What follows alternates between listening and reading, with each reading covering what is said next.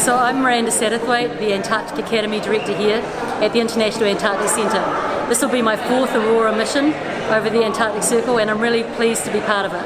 I've been on two NASA SOFIA missions and one of them was more for public outreach and one of them was really looking at science. Tonight we're Aurora hunting, so we're going to be looking obviously, depending on the solar weather at, at the Aurora. Antarctica is the coldest, driest, probably highest atmosphere from the ground that you can get and so it has very little light pollution in the winter it's dark for four months of the year so you can see things that you can't see anywhere else on the world so that's why Antarctica is the place to do astronomy.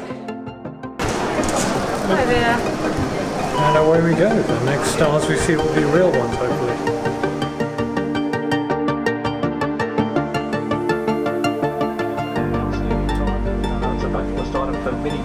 Tonight and uh, we look forward to providing excellent service to you.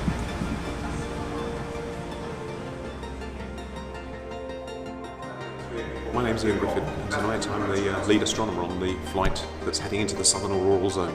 Tonight this will be my 10th flight into the um, southern auroral zone and I've also got a couple into the north. Um, it's really exciting, we don't know what we're going to see and the auroral conditions look quite exciting at the moment. Well, um, we, we, we, always find these flights um, out of New Zealand at least, um, close to the equinoxes, because there's a, a phenomenon called the Russell-McPherron effect, which has the magnetic fields of the Earth and the Sun linked, and that gives us more auroras, so there's a higher chance of seeing a good aurora.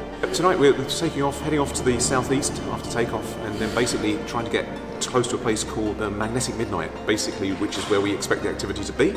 Um, once we get there, um, we'll be looking out the windows all the way down, looking for activity, and then there's a liaison between the crew, who are obviously flying the plane, and the photographers like me who are trying to see where the aurora is, and we hopefully get the plane into a sweet spot where we can see the aurora on both sides of the plane, and that is always really exciting. I'm Stephen Voss, I'm one of the photographers on board. Um, um, I've been an enthusiastic uh, I guess astronomer and astrophotographer for many years. I've flown on uh, all of the previous Southern Aurora flights. So the Aurora is always there, just comes down to how bright and intense it is. We can get ourselves to that location, pretty much guaranteed. What we can't guarantee is how intense the display will be.